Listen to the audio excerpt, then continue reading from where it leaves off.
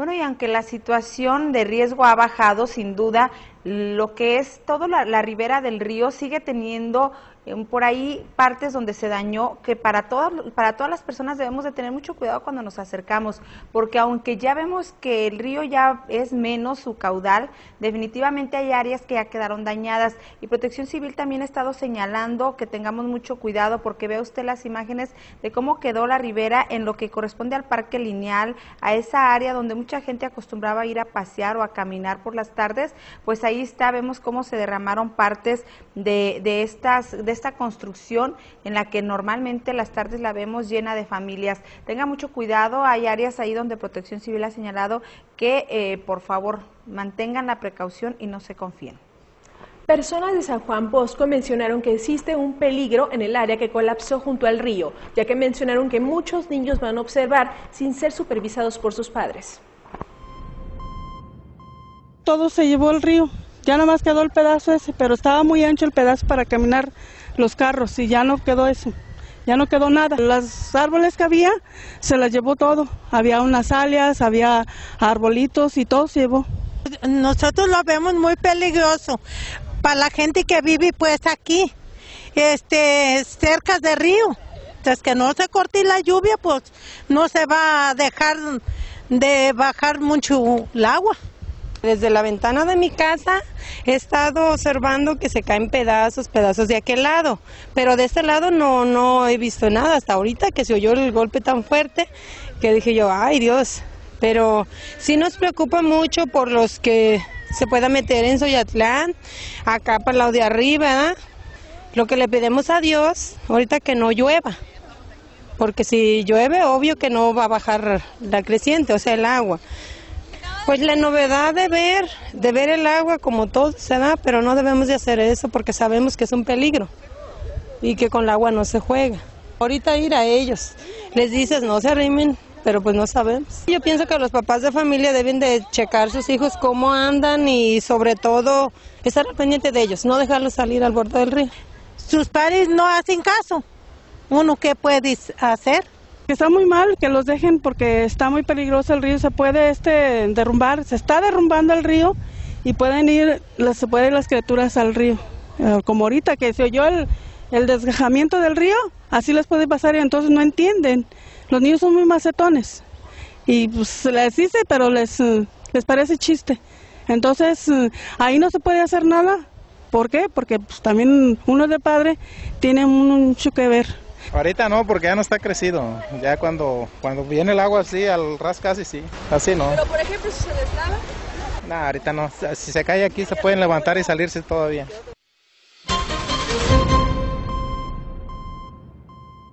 Y se tuvo una entrevista con Protección Civil sobre las condiciones de riesgo en el Parque Lineal y en San Juan Bosco.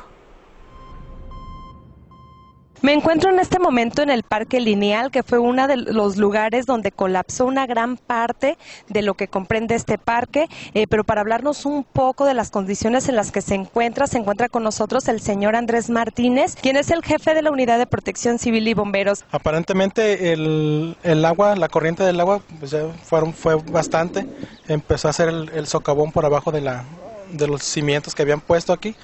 Y fue que cuando colapsó por por tanto el espacio que fue haciendo pues el agua y ya no lo soportó y de repente pues pues cayó. veíamos a la gente aquí asomándose, tomando fotos y el, pues eh, ponían en riesgo pues su, su, vida. Por eso fue que empezamos a, a acordonar, pusimos las líneas estas, pero pues aún así de todos modos pues las gentes y los niños siguen siguen pasándose aquí al, al riesgo, poniéndose en riesgo ellos mismos. La gente ya ahorita ya con con los celulares, con las cámaras en los celulares, pues ya en vez de, ayudar, pues mejor prefiere tomar fotos o este, ser protagonistas de, de, estas, de esos desastres pues en la gente. Aquí lo que les pedimos pues si no van a, ayudar en, en, esta forma pues mejor retirarse y ponerse a salvo porque pues esto todavía puede, puede ser que, vaya a colapsar a lo mejor un poco más. Vemos todavía niños pequeños sin supervisión de los papás, vemos gente que se sigue asomando. ¿Qué pasaría donde una persona se resbale, colapse una parte? ¿Qué pasaría con esta persona? ¿Se cuenta con el equipo necesario para poderla sacar? No, no tenemos el equipo necesario para poder hacer un, rescate de este, de este tipo.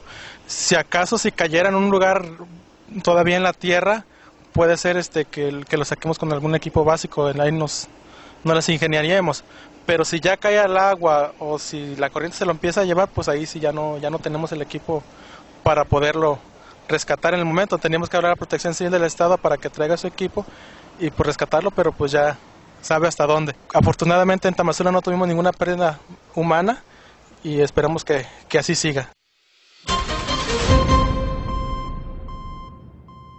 Y también San Antonio resultó afectado. Hay dos viviendas con pérdidas prácticamente totales cerca de la ribera del río.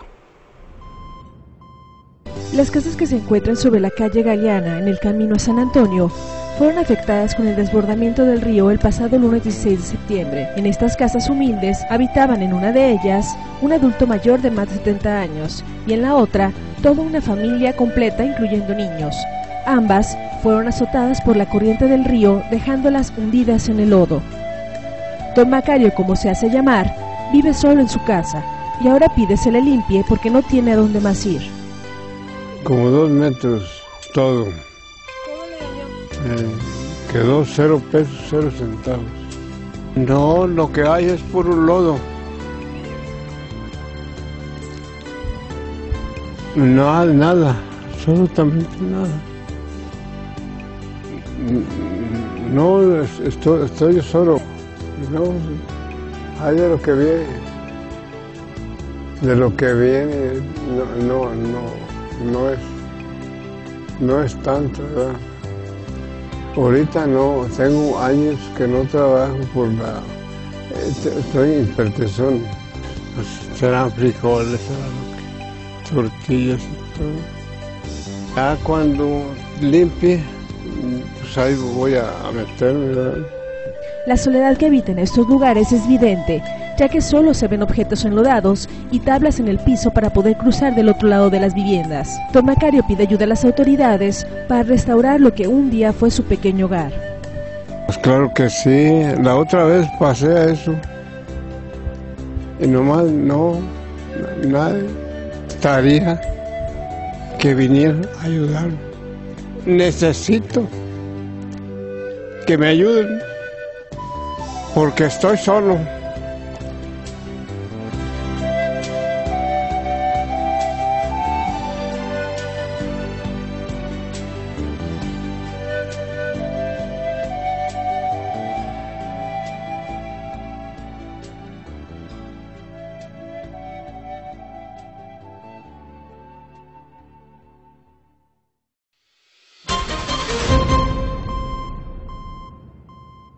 Bueno, y hemos visto cómo, igual que esta comunidad, las demás delegaciones, más comunidades están requiriendo apoyo. Y mira, déjenles adelanto también en parte de lo que ya se ha ido aventajando bueno, antes de irme aquí, si usted quiere apoyar a estas familias en el DIF municipal, están recibiéndoles todo, es un centro de acopio para recibirles todo su apoyo y toda su ayuda. O vaya directamente y usted viva con ellos, comparta con ellos y únase con ellos ante esta situación y hay que solidarizarnos. Vamos rápidamente ahora a la delegación de Contla, el puente. Estas son las imágenes que le vamos a mostrar de cómo comenzaron a instalar ya el puente. Es un puente de acero del cual nos habló el licenciado Bernardo Gutiérrez, director de la Secretaría de Comunicaciones y Transportes del Estado de Jalisco, quien comentó que en la Avenida del Gobernador le dijo inmediatamente en la madrugada comenzaron a llegar las partes para poder armar este puente de acero provisional en el que estarán ya transitando dentro de unas horas, eh, estará transitando, transitando, perdón, no solamente la gente, sino que ya lo podrán hacer también los vehículos. Insisto, es un puente de manera provisional. Estas son las imágenes que tenemos hasta hace unas horas de cómo iban los avances. Eh, ya como le mostramos, ya fue retirado la caja de, del tráiler que se encontraba ahí y ahora ya está colocado el puente para que en unas horas más ya puedan circular tanto las personas como los vehículos. Vamos rápidamente a otra información. Miren, les, eh, hay una situación aquí. Este, vamos a mostrarles estas imágenes. Tenemos las imágenes del vertedero de la presa del Tulillo. Tenemos unas imágenes eh, en donde les queremos mostrar en qué condiciones está, porque la gente tenía la duda y la inquietud de saber en qué condiciones. Bueno, en los momentos más difíciles que se estuvieron viviendo respecto a las lluvias, bueno, estas son las imágenes que en su momento presentaba la presa la presa del Tulillo, la presa del Carrizo, como todos la conocemos, bueno, así estaba. Sin embargo, ya todo ha bajado, el nivel ya está mucho menor y la situación ya no hay, no está en situación de riesgos. Vamos rápidamente también a otra parte. Nos vamos a la presa. Ahora estas imágenes que yo le voy a presentar son las imágenes de la presa de Soyatlán. Sin duda fue la que estuvo más en el tema y en la preocupación.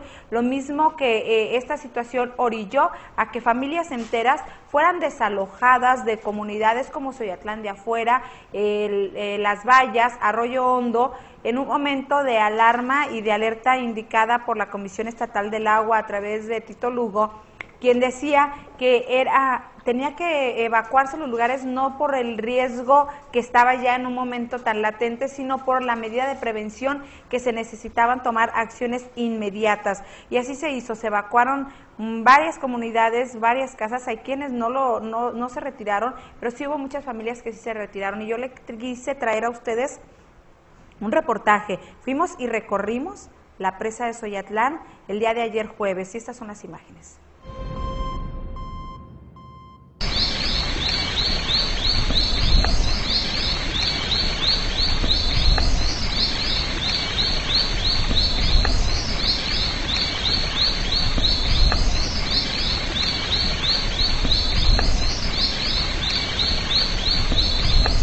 Encontramos en la parte alta de lo que es la presa de Soyatlán.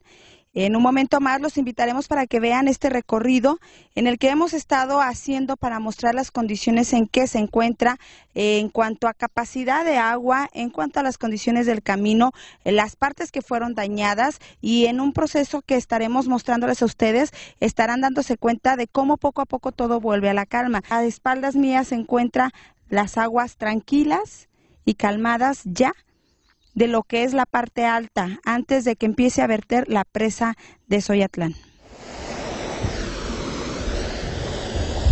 Bueno, en estos momentos las imágenes nos permiten ver cómo, pues en la parte alta del cerro, este, las lluvias, pues siguen dejando caer todavía, pues agua de una cantidad moderada, algo que es considerado normal que baje después de una lluvia, un agua muy cristalina y le estamos viendo cómo va, hace su recorrido y obviamente todo va desembocando sobre la presa de Soyatlán. Se hablaba que parte del desbordamiento que se estaba dando en esta presa fue a consecuencia de una parte más alta de lo que llamaban la presa o el río Los Aguacates. Sin embargo, mostramos aquí las imágenes de la presa de Soyatlán, las condiciones en las que en este momento, hasta este día jueves 19 de septiembre en el que se encuentran, los niveles han bajado. En donde me encuentro, este, eh, todavía está húmedo, sin embargo, los niveles ya están abajo. Lo que sí nos llama la atención es la cantidad de casas que están en, la ribera de la presa, que sin duda de no haberse bajado los niveles y, y haber estado más controlada la situación, sin duda todas esas viviendas debieron de haber sido afectadas. Bueno, ahora en este momento me encuentro aquí justo en esta imagen que vimos hace unos días el 16 de septiembre por la tarde, la situación dramática y alarmante que fue lo que puso este en alerta al municipio de Tamazula y el, la situación en que se encontraba aquí fue lo que orilló a la evacuación de comunidades como Soyatlán de adentro, Soyatlán de afuera, Las Vallas, Arroyo Hondo y las viviendas cercanas al río Tamazula. Bueno, esta es la situación en la que hoy, jueves 19, se presenta. Estas son las imágenes. Nos podemos dar cuenta cómo el agua aquí en donde yo estoy en un determinado momento pasó también el agua de la presa. Estamos viendo cómo dañó, cómo se desgajó, cómo se llevó gran parte de este eh, que sería camino o cerro que se encuentra aquí, cómo está deslavado y desgajado eh, en todo lo que destruyó a su paso. En las imágenes que veíamos el, el 16 de septiembre por la tarde nos pudimos dar cuenta de cómo todo lo que hoy está libre, rocas, todo esto que vemos, pues en realidad no se veía por la gran cantidad y la fuerza de agua con la que la presa estaba bajando. Esto fue lo que provocó gran parte de inundaciones, viviendas dañadas, incluso, incluso viviendas que fueron totalmente arrojadas con la fuerza de esta presa de Soyatlán, la cual a través de Protección Civil del Estado y del gobierno han señalando, han señalado que hasta el momento la presa se encuentra fuera de peligro para los habitantes. Sin embargo, sigue monitoreada, además de que esta presa sigue teniendo una atención importante, ya que se señaló que tuvo una fractura. Mientras tanto, las condiciones de riesgo es por eso por lo que se indica que han bajado, porque el nivel, como lo pueden ustedes apreciar, ha bajado de una manera impresionante y considerable gracias a que también el clima lo ha favorecido, el sol ha salido y bueno, ya no ha habido tormentas eh, de cantidades de agua que puedan volver a afectar esta presa. Repetimos, la situación sigue eh, con una calma, pero no quita que tengan que estar pendientes y cuidando de esta situación y estar con el monitoreo constante. Hay que tener mucha precaución, estar enterados y comunicándonos de todo lo que está pasando en torno a esta presa de Soyatlán. Pero mire la importancia que es recabar toda esa información que por años han llevado y por generaciones han transmitido los habitantes de este lugar, quienes aseguran jamás haber visto y haber vivido lo que se vivió este 16 de septiembre. Le tumbaron con un marro para que se fuera el agua por aquel lado. Por aquel lado de allá donde se ve que le falta un pedazo. Sí, por allá, se lo tumbaron la gente y amarrado. Y pues estaban diciendo que se, se le toda la gente de abajo. Abajo hay muchísimas casas.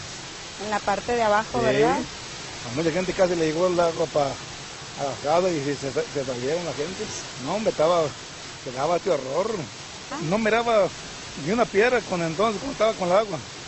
hasta allá llegaba el agua, yo le, tomé una, una, video de allá de aquel lado enfrente, es pura tierra, puro monte. Pero había árboles aquí, todos los desgastos. Todo se llevó, como, como ven ahí, hasta aquí estaba, estaba hasta abajo.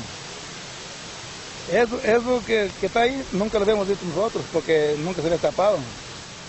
Nunca, nunca habíamos mirado eso. ¿No habían visto que abajo tenía tanta piedra? es como te petaste, no sé qué. Parece como si se le hubieran hecho a la gente a alguien, ¿verdad? Con los calocitos. Ah, eso ya cuándo lo van a arreglar ya jamás. ¿Toda la vida han vivido aquí ustedes? ¿Y nunca habían visto? Nunca habían ¿Aquí nacieron? Sí. Aquí, aquí dejamos el ombligo. Nunca se había mirado esas cosas. Aquella casilla es nuevo, como lo de abajo. un agua. ¿Y no la tapó? Eh? ¿Ahora está No, sí, la tapaba, pues todos pensamos que, se le iba a llevar. Ahí está el motor del agua y suerte que está bien hecha, aunque no se la llevó. Las blancas que miramos, de donde, donde se ve la, la, la piedra para arriba, era lo que se miraba. ¿Abajo de ese como eh. puentecito? Sí, eso abajo, no, no se miraba. Lo que es la piedra, no se miraba. Ah, ustedes nomás veían el cemento. El puro cemento, estaba raso. Además de una una idea como estaba atrás del, cemento era lo que se miraba. ¿Y todo lo que se Todo se llevó? ¿Es nativo de aquí? Sí. ¿Cuántos años aquí? No, pues 40 ah, años. ¿Sí? No, no más, menos, estoy yo aquí, pero yo aquí nací, ahorita allá vivo en Ciudad Guzmán, pero ya la mayor parte del tiempo aquí, aquí lo, pasé. Eh, pero jamás en mi vida habíamos visto una cosa parecida a esa. ¿Sí? Sí, siempre se ha brincado al lago por así cuando llueve mucho. En una tormenta grande se, se, llenaba la presa y se brincaba el agua. Pero nunca había hecho estas atrocidades como ahora. No, no, como el 16 nunca habíamos visto eso, nunca. Todo eso que se ve allí no, no estaba, eh, el cerro llegaba hasta allá está el ranchito ese. Todo eso, todo eso estaba cubierto de tierra. Y aquí jamás este, se había visto que se llevara tanto, tanta agua así. Eh, tanto el terreno ahí, las piedras y todo como descubrió ahorita pero no, nunca habíamos visto eso. Uy, eso es una, una barbaridad lo que hizo el agua ahora esta vez. No, la presa está bien reforzada. Yo cuando yo nací ya estaba la presa y anteriormente no había cemento. La hicieron con piedra y cal nomás, pero no había cemento. Mire, está bien reforzada. Pues atrás, abajo está muy ancha, sí, muy gruesa de abajo y luego creo muy profunda para abajo pues no hay, no hay posibilidad de que se, que se caiga. Por arriba sí brinca, si, si algo le ponen arriba, es posible que sí, la, sí brinque el agua y, y tumbe lo que le ponen nuevo, ¿verdad? Pero la presa está muy bien, nunca ha habido ningún problema. de que se quiera reventar o algo. Ahora sí, con esta vez que con este tormentón que cayó, sí, la gente que vivía allá abajo sí estaba muy mortificada y ya, pues, se salieron para arriba, porque se va a reventar, pues es que era demasiada agua. Esto jamás en la vida se había visto este fenómeno tan grande como está ahora. Sí decían pues que pensaban que se iba a reventar porque sí miraron tantísima agua que estaba cayendo y que iba entre más aumentando y que se yo, se oyó un ruido por ahí que como que se quería reventar algo y por eso ahí en la parte de aquel lado le, con un marro le quitaron para que brincara el agua así para que no se fuera para que saliera pues más, agua verdad y, le abrieron ya con el mar tomaron un pedazo de barda y ya se descubrió tantito allí y ya, ya pues salió el agua, por eso por aquel lado viene que se ve el que, que se deslavó, porque sí le sirvió mucho que le hayan ah, rompido, rompido por aquel lado, sí.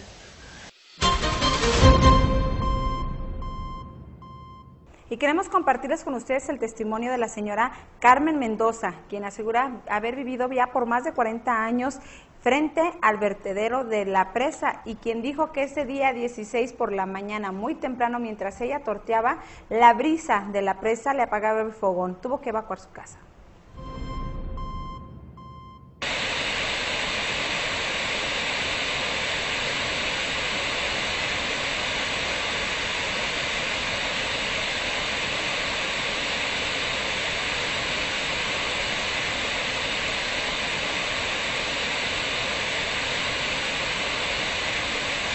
Bueno, y esta es la parte de frente de la presa o la cortina, el nombre que tiene esta parte de aquí en donde podemos ver cómo cae el agua que está almacenada en la parte de arriba donde le hemos mostrado. Sin embargo, las imágenes nos dejan ver muy claro que nada que ver con las imágenes que ustedes eh, vieron también a través de este medio, a través del de la Comisión Estatal del Agua, Tito Lugo, quien nos mostraba en su momento cómo se encontraba la capacidad y cómo estaba vertiendo la cantidad de agua que estaba eh, en riesgo de que provocara algún desbordamiento. Bueno, pues aquí está la imagen que hasta el jueves 19 está presentando esta presa de Soyatlán. Ver las condiciones y la imagen pues nos deja un poco más tranquilos, sin embargo hay que seguir teniendo mucho cuidado y mucha precaución porque no olvidemos que se señala que al parecer hubo una fractura en la misma. Bueno, estamos en este momento en una vivienda que justo está frente a la cortina donde está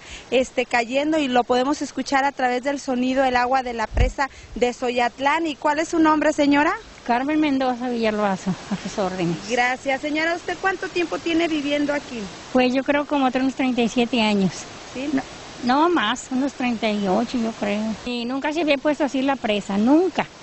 No, hasta ahora que vinieron y quién que le subieron acá más y pues le echaron por aquí. Yo no sé cómo estuvo eso. El caso fue que ahora se nos puso muy, pues mucha agua, muchísima agua. Que si bien nos costó salirnos porque ahí al pie del guayabillo llevó como la mitad de tierra. Si teníamos, eh, se nos llevó un guayabillo, que ya daba guayabillas. Nos llevó un, naranjo lleno de naranjas.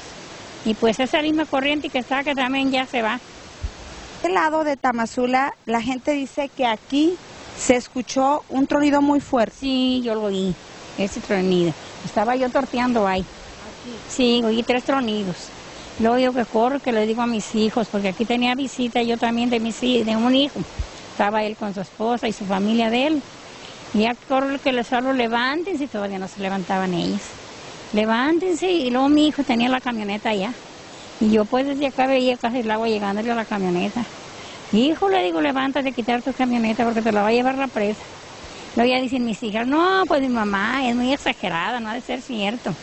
No, que se levantan y que van viendo, ay, sí es cierto, mamá. El ranchito, ¿no ven el ranchito que va, está ahí abajo, la casita que está allá?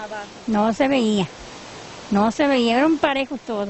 Luego yo aquí me llegaba la brisa, no podía tortear hasta que me le pusieron ahí, este, nailos yo, ¿sabe qué? Pensé que se había venido toda la presa.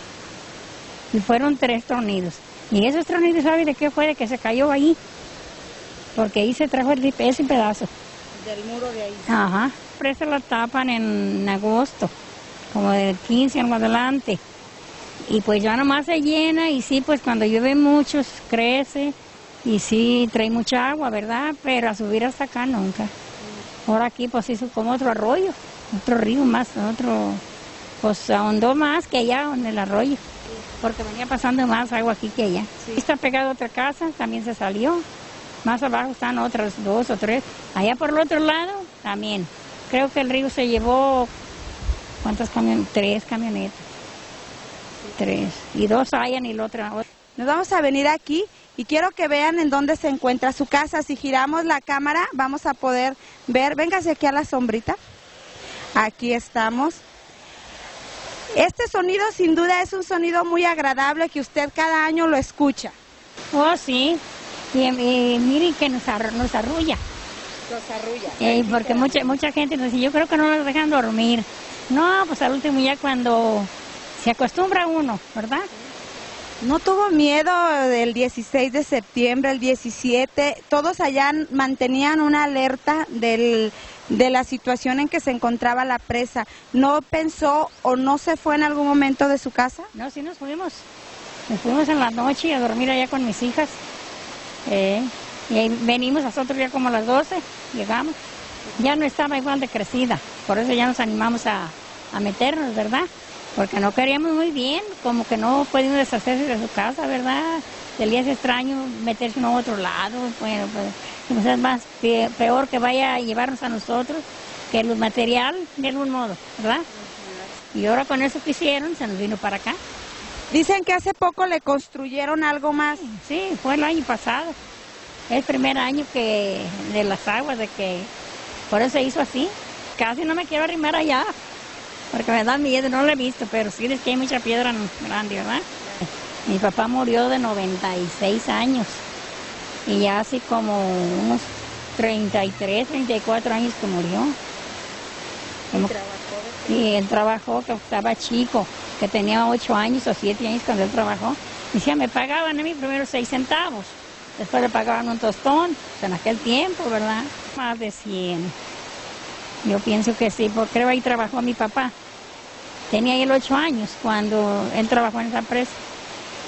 Eh, hasta nos había platicado que decía la gente que él no vio, pero que tenían tres, mm, que echaron tres niños. Eh, que él nomás vio la, el, pues, las que hicieron como, unos, como unas pilas, que vio tres. Pues uno decía que estaba por acá y el otro al otro lado, no sé dónde decía. Ya yo no me acuerdo. Pero que ya nomás de un de repente ya las taparon, él no vio. Pero que la gente decía que tres niños. Que esos niños son que para... Eso dice la gente, a lo mejor yo no creo, ¿verdad? Eh, sí, que, que esos niños van a avisar para cuando la presa se reviente. Que van a llorar.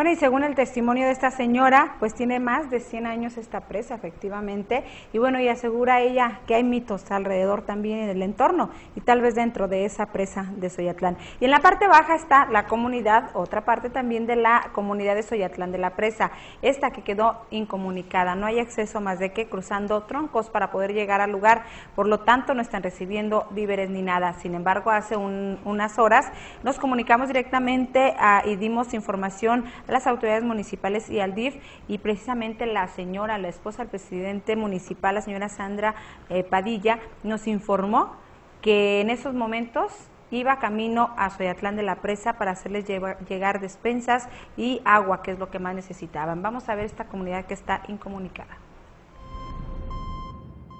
Estamos viendo cómo la máquina que está ayudando con los trabajos aquí en la parte baja de la presa de Soyatlán justamente eh, ayuda a la gente a cruzar del otro lado, que es la parte que se encuentra incomunicada aquí en Soyatlán de la Presa. El camino, como vemos, está siendo rehabilitado. Ya ha llegado este mm, piedra eh, que están tratando de acomodar y de, darle ya este aquí al, río, al arroyo este que está bajando, que lo vemos como se enanchó y bueno, aquí es por donde normalmente se transitaban para ir hacia el otro lado. El ver las condiciones de cómo se encuentra los árboles, todo lo que se encuentra alrededor, podemos darnos cuenta que el río llegaba hasta este nivel entre la tarde y noche del 16 de septiembre y la mañana del 17. Hoy estamos viendo ya las condiciones en que ha bajado totalmente el nivel por la cantidad de agua que ha dejado de bajar tan abundante como lo hacía la presa. Sin embargo, la presa se encuentra llena, eso sí lo pudimos constatar hace un momento, pero ya los niveles que baja ya no significan un riesgo tan elevado como el que se tenía en, hace dos, tres días aquí en, en la presa. Aquí podemos ver, se encuentran todavía las partes del puente con el que se comunicaban hacia allá, cómo fue, fue arrastrado. Aquí se encuentra el material, se encuentra todo esto con lo que la gente transitaba de aquel lado.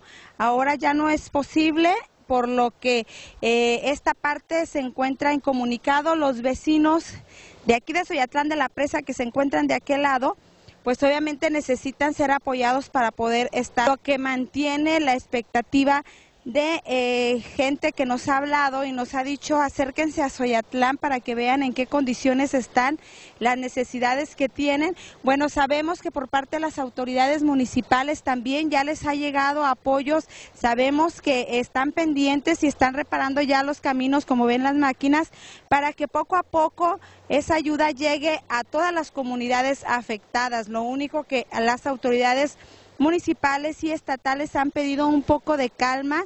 Afortunadamente no hay daños en personas, solo daños materiales y la gente eh, quisiera recibir toda esa ayuda y ese apoyo al mismo tiempo. Sin embargo, están coordinándose todos los niveles de gobierno para que los apoyos lleguen en su debido momento y están programados para que nadie quede sin atención y sin apoyo.